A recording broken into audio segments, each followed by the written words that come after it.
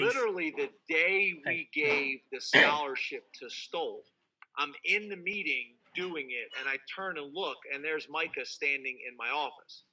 And just so you guys know, Stoll got Micah's scholarship. We were at 85.